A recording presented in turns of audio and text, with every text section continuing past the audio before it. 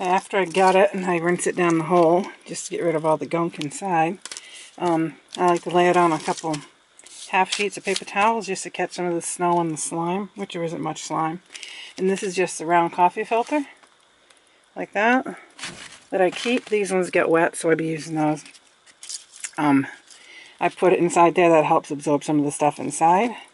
But, this is a neat part. Watch that heart. And that will do that for literally hours on end. And the warmer it is, the slower it beats. The colder it is, the longer it lives, if that makes any sense.